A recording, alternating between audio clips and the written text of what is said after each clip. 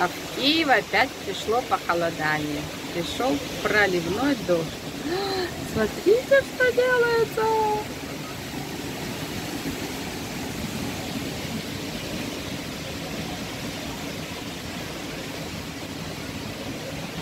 Дождь льет стеной.